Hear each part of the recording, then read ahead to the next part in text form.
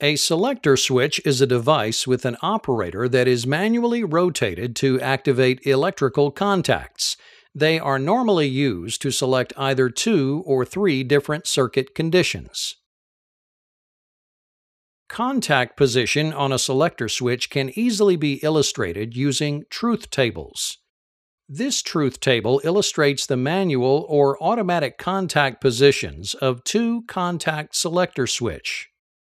Each contact on the line diagram is marked A or B.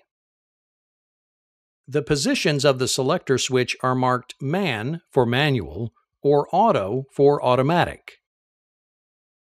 The truth table can be used to easily interpret what contacts are closed for a particular position. An X is placed in the table if a contact is closed in any position.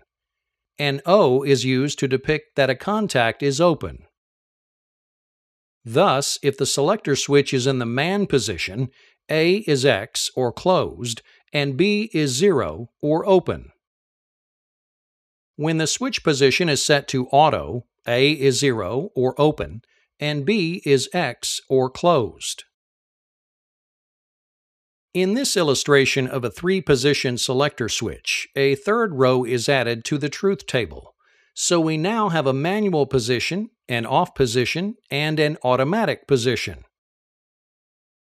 Thus, in the man position, A is X or closed, and B is 0 or open. At the off position, both A and B are 0 or open. With the selector switch set to auto, contact A is 0 or open, and B is X or closed. Another type of switch used in electrical mechanics is the limit switch. A limit switch uses contact with an outside force or stationary object to physically open or close the switch.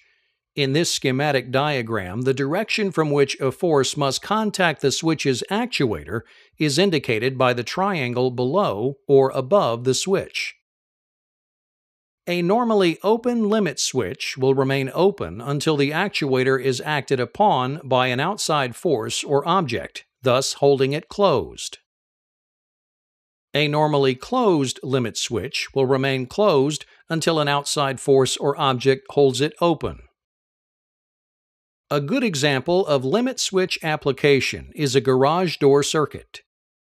A garage door circuit includes a limit switch that will remain closed until the actuator comes into contact with the floor. When the garage door motor is activated, it will continue to close the door until the lower edge of the door hits the floor.